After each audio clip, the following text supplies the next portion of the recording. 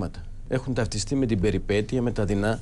Ποτέ άλλοτε μετά το 1974 δεν είχαμε τέτοια κριτική απέναντι τι στην κατεξοχήν διαδικασία εκείνη που δίνει τη δυνατότητα στο λαό να εκφραστεί, να μιλήσει, να κρίνει τα πράγματα. Εδώ πλέον αυτό θεωρείται ότι είναι ο κατακλυσμός, το τέλος του κόσμου. Γιατί δεν είχα ποτέ τέτοια αντιπολίτευση. Όχι, διότι Μιχάουζεν. ποτέ. Διότι Φοβερή. ξέρετε γιατί. Που δεν έδειξε διότι στο ποτέ λαό. δεν είχαμε Πείτε που θα βρει τα μια λεφτά να τόσο μιλήσουμε, πολιτικά απομονωμένη κυβέρνηση.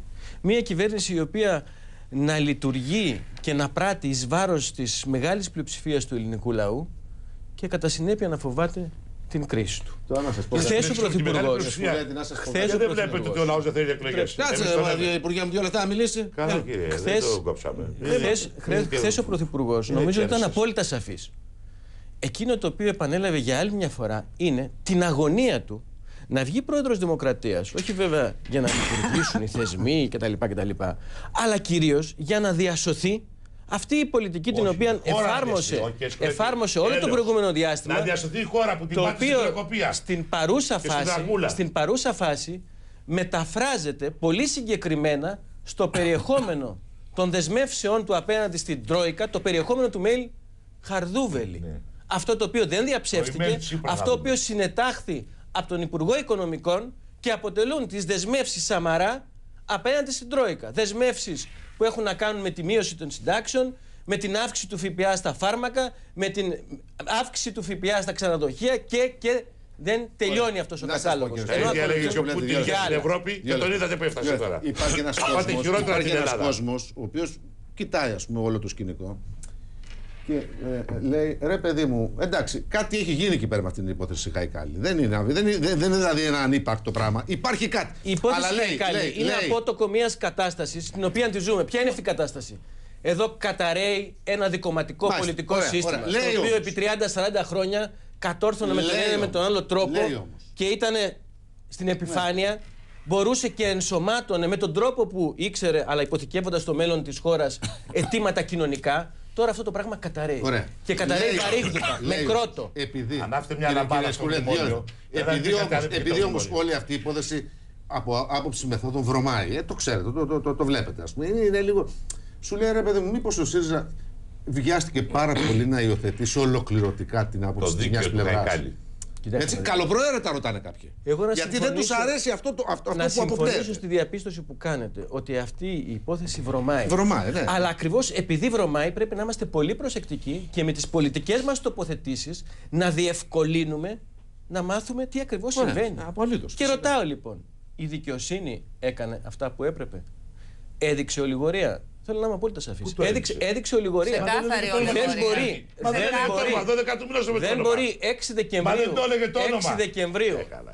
να εμφανίζεται κάποιος Δεν έλεγε το όνομα να της Κολέγης. καταθέτει Από τις Έλεος. 12 Δεκεμβρίου είναι γνωστό. Από το 12 όνομα. το είπε. ανωνύμως Από 12 πρώτα είναι γνωστό. και τις 12 Δεκεμβρίου επωνύμως να την καταθέτει Ινούτα, οπτικοακουστικό ο υλικό εισαγγελέας. Ε, Για κύριε να- και η Για δικαιοσύνη το όνομα. να, για τον εαυτό της να εντάξει, κρατάει εντάξει. ένα μυστικό το Η οποίο δικαι- επηρεάζει μια Κύριε διαδικασία που είναι σε Καμπουράκη, εξέλιξη 12 αυτή της του μηνός είπε προεδρική το όνομα. εκλογή.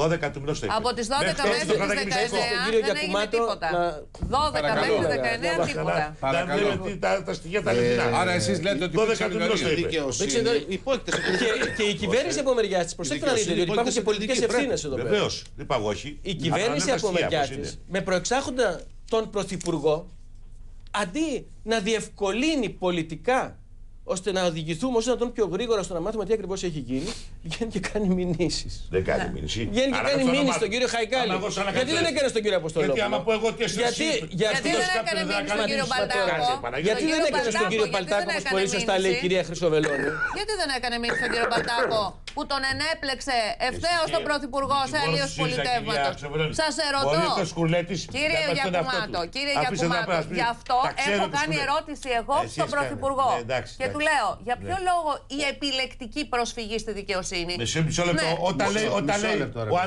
Το ίδιο ανεγρήγητος... είναι να λέει πολιτικά Άκου, α- ότι πολιτικά Πολιτικά έβαλε. δουλεύω για το Σαμαρά Έτσι, έτσι. και το ίδιο του με, με, Ποιος με το έβαλε να είπε όμως; δωροδοκίσω. Ε, βέβαια. Δεν Ποιος έχει το μια- είπε, ποιος το Ο- είπε; ο- Ο Αποστολόπουλος το Ε, είπε. Βέβαια. Κάνει, αντί να κάνει μήνυση Όχι, στον όχι, Αποστολόπουλο. το είπε- το είπε Χαϊκάλης, δεν το είπε κάνει Χαϊκάλης. μήνυ- Ο Δεν το είπε στη συνέντευξη Χαϊκάλης, ο στον Άλφα. Χαϊκάλης επανέλαβε το Ναι, τι είπε ο α, α, Αποστολόπουλος. άκου, ναι, ναι, ναι. Ο Αποστολόπουλος Πού το έχει άκουσες; εμπλέξει στο δεύτερο στο- στο οπτικό μοντάζ, στη ακουστικό μονταζιέρα. υλικό. Με τον Λαζόπουλο και Κύριε τον- Όχι, όχι, Γιακουμάτο, δεν σταματήστε. Δύο λεπτά, δύο λεπτά. Το δεύτερο στη- στη- στο, οπτικό. απο- στο βίντεο φαίνεται ότι το λέει ο Το Αποστολόπουλος. δεύτερο επιτρέψει υπο- κάτι. Το λέει ο Μου Αποστολόπουλος. επιτρέψει Έχει κάτι. δίκιο. Αποστόλος το λέει στο βίντεο. Στο δεύτερο Το βίντεο έχει οπτικό δημοσιευθεί. ακουστικό υλικό. Όμως ο Καϊκάλης το είπε δημόσια. Κακά τα Τι λέω, Στο σύμβολα. δεύτερο οπτικό Ο πανικός ακουστικό υλικό. Είναι κακός σύμβουλος. Ω, Να πολύ πείτε κακός. στον Πρωθυπουργό λοιπόν Πολύ ότι ο κακός. πανικός είναι κακός Το σύμβουλος. δεύτερο Όχι. λοιπόν Εγώ θα το οπτικό πω στο ακουστικό λαό. υλικό, το οποίο Όταν έχει γίνει ανεβεί εκλογές, θα δεις στο τα πάντα. διαδίκτυο, τα πες τα εμπλέκει ακριβά αυτά όλα. ξεκάθαρο ο κύριος Αποστολόπουλος και τη Νέα Δημοκρατία, Ωραία, τώρα. εμπλέκει και την Τράπεζα Πυραιός. ναι. Και βέβαια Α, μου να, κάνει πήγαμε πολύ και την Πυραιός, μεγάλη πήγαμε και την εντύπωση Τράπεζα το Πυραιός. γεγονός ότι η Τράπεζα Πυραιός δεν αντέδρασε καθόλου Τα με δύο χιλιάρικα οποιοδήποτε τα πήρε όμως στον τρόπο. λογαριασμό του. Λοιπόν, Του τα χρώστα ο για που κύριος τα είχε Σαμαράς, δανείσει. αντί να Ε, στραφεί... τα πήρε τα δύο χιλιάρικα. Ο κύριος Και ξανά δύο Σαμαράς- χιλιάρικα. Ο κύριος Σαμαράς, Μέσω τραπέζης. κύριε Άσε, κύριε Γιακουμάτο, Αξιοβέλο, αντί έλα. να στραφεί Έλα, κύριε κατά του Αξιοβέλο. Αποστολόπουλου, Είσαι ο σοβαρή οποίος δικηγόρος. εκείνος έκανε Σ' ακούνε αναφορές, στο Βόλο, μη λες τέτοια. ε, στρέφεται κατά του μπερδεύεσαι. Χαϊκάλη και Τώρα, του με τα Πρόεδρου των πιτούρα. Δύο Ανεξαρτήτων λεπτά, κύριε Ελλήνων. Θα σε φάνει Αξιοπέλο. κόντες. Επειδή, επειδή τον καλύπτεται απολύτω δίκιο, έχετε μέσα στο κόμμα σας είναι. Όχι, δεν καλεί το κανένα. Ε, πώς δεν καλεί. Μισό λεπτό. Πολιτικά. Μισό λεπτό. Πολιτικά Ω. υιοθετείτε την άποψή του και Μισό δικαίως. λεπτό, Την άποψη του μισό αρχηγού λεπτό. σα. Εγώ, όπως όλος ο ελληνικός Μισό λαός, λεπτό, είδα μισό. τα δύο βίντεο αυτά. Και εγώ τα είδα. Και τα εγώ τα οποία είδα. ανέβηκαν Και στο τα βίντεο διαδίκτυο. δείχνουν κάτι. Εγώ δεν μπορώ να πω ότι δεν υπάρχει τίποτε. Τα είδα τα βίντεο, δείχνουν κάτι. Δείχνουν τον Αποστολόπουλο πώ του λέει πράγματα. Ωραία. Δεν ξέρω πώς ξεκίνησε. Ο Χαϊκάλης λέει, ο Αποστολόπουλος λέει. Μου είπε και οδήγησε τη συζήτηση εκεί. Εντάξει, μπορεί. Αλλά είπε αυτό ο που είδα εγώ Αποστολόπουλος, φαίνεται. έλεγε ότι ο Αποστολόπουλος του έκανε πρόταση δορδοκία. Βέβαια. Είναι φανερό. Ξεκάθαρα. Το είδα. μπράβο. Εκπεφρασμένη Απ' την άλλη μεριά βούληση. όμως και εσείς πρέπει να πείτε στο βουλευτή σας ότι Ναι. δεν παίρνει δύο χιλιάρικα από την τράπεζα. Έτσι. Τι δεν παίρνει; Ότι δεν παίρνει δύο χιλιάρικα και από το έχει βάλει ο άλλος. Πώς σου τα βάλε στην τράπεζα; Εμά μου τα Εσείς, βάλε τα δηλαδή, πιστέψω δεν- πίσω. Εννοείται για τις 5.000 τις οποίε. Πέντε λέει αυτό. Ε, Ναι, αυτό ναι. εξήγησε ο κύριος Α, μα Χαϊκάλη. είδες λοιπόν ότι υιοθετείτε τα πάντα. Τα κάστα δανεικά γίνονται με χαρτί. Δεν γίνεται Έχουμε έτσι. δύο βίντεο τα οποία υπάρχουν Εντάξει. ξεκάθαρες συνομιλίες. Κυρία Όσο και Χρυσαβελώνη, να θέλουμε να τα υπάρχει και ένα άλλο κουκουλώσουμε, θέμα δεν γίνεται. σοβαρότερο που εμείς ως Έτσι. δημοσιογράφοι οφείλουμε να το θίγουμε. Έρχεται ο κύριος Παπασωτηρόπουλος σε μένα και μου λέει ότι ο κύριος Κουρδέτη σας έχει δώσει 100.000 για να λέτε αυτά που λέτε τώρα. Δικαιούμαι εγώ να το πω; Σήμερα; Ε; Όχι. Δικαιούμαι να το πω. Εάν το πω, θα, δεν πρέπει να μου κάνετε μήνυση. Προφανώς. Τι εννοείται. άρα, λοιπόν, τώρα; Σαμαράς. Τι; Εννοείται. Άρα τι, Εμένα όμως- δεν φτάνει, λέω, Εσείς είστε δεν προ- φτάνει εσείς- μόνο εσείς σας αυτό. λένε Σαμαρά, είστε πρωθυπουργός. Όχι, όχι, όχι.